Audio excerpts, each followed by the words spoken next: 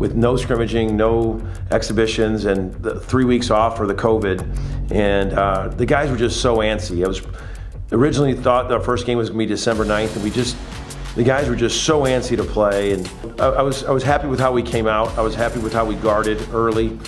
It, it, just felt good to compete against a different team. I mean, we've been practicing, battling against each other for all these times. You see all these other other college basketball teams that's already started, so um, it just felt good to get out there and get a W. It's a it's a strength by staying fresh and just coming in, in waves defensively, and I think our depth is is a strength. There's nothing like there's nothing I can simulate than what just happened. There's nothing. I mean, the game nerves, the game int intensity, the opponent not knowing what you're doing, the opponent kind of trying to beat you. No matter what you do against each other in practice, is never like a game.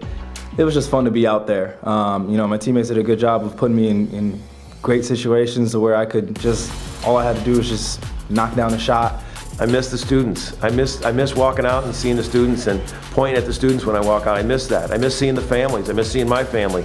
But that's all part of it. We got to adapt. We got to adjust during it. It's, it's our, but there's nothing like uh, uh, uh, our, our, the, the home atmosphere that this Rambler crowd, this Rambler faithful has created here.